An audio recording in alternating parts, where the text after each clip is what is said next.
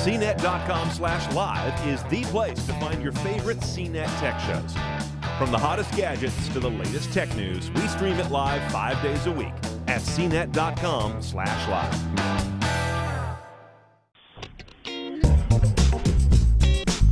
It is finally here, the next version of Android, which is better known as Ice Cream Sandwich.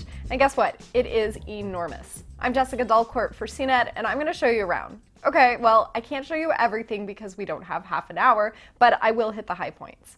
First of all, there's the interface. Google has pretty much reworked almost every single element, making it look really fresh but also familiar.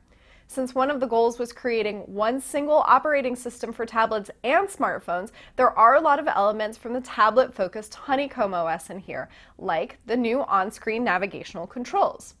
Ice Cream Sandwich loses the search and menu navigation buttons, but it gains a button to see most recent programs, just like in Honeycomb.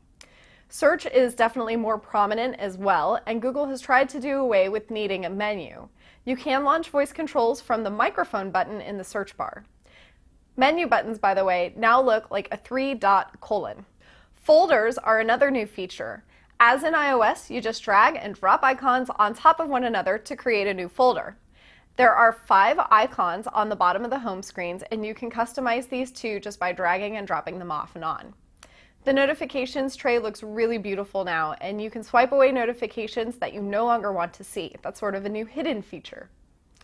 The app tray looks pretty similar as before, but now it also holds widgets that you can drag and drop to the home screens and even resize.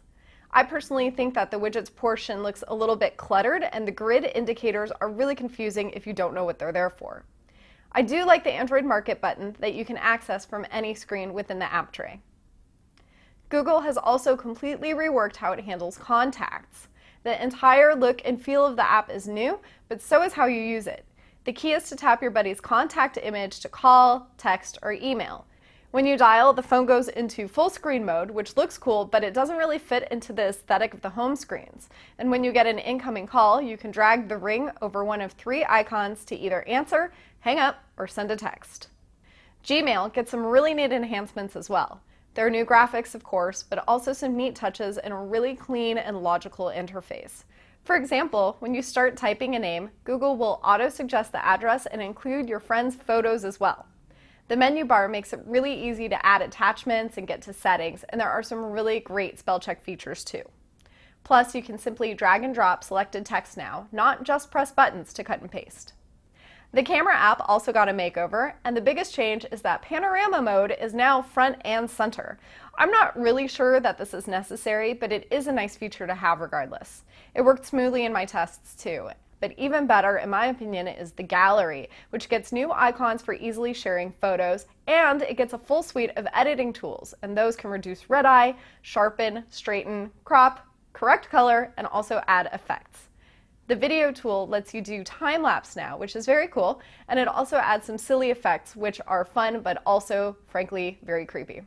There are also some wacky and sort of impractical backgrounds that you can superimpose into your videos for an extra laugh. The one thing I don't like about the gallery is how cluttered and visually busy the tiles are when you're looking at your pictures or screenshots.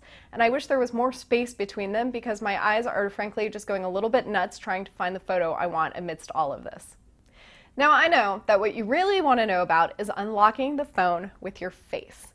Google admits that Face Unlock isn't the most secure, especially because a doppelganger of yours or a photo of you will also unlock the phone.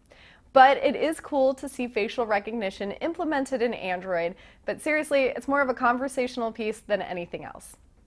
I'm sure that you also want to know about Android Beam, which uses a radio frequency standard called NFC to pass information from one compatible phone to another. Since all I have is the one phone right here, I have not been able to test this feature at the moment.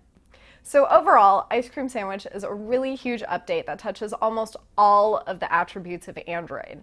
It's powerful, and yes, it succeeds in many, many areas. However, there is a little bit of discord when it comes to some of the graphical themes that I think can be a little confusing. And honestly, it shouldn't be there as part of a polished and mature operating system. I also think that Ice Cream Sandwich will look even better on a tablet than it does on a phone. So Google has a little bit of work to do, but this really is a serious step up into Android adulthood. I'm Jessica Dolcourt. You can read the full review of Ice Cream Sandwich and the Galaxy Nexus smartphone on cnet.com. CNET.com slash live is the place to find your favorite CNET tech shows. From the hottest gadgets to the latest tech news, we stream it live five days a week at CNET.com slash live.